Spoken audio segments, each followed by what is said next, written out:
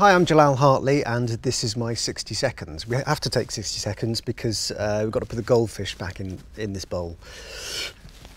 What was your favourite film when you were younger?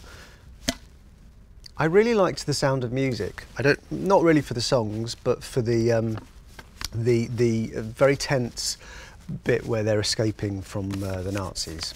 Who was your inspiration? Probably Freddie Mercury. Um, I'm a big fan of Freddie Mercury. Do you have a secret talent? Yes.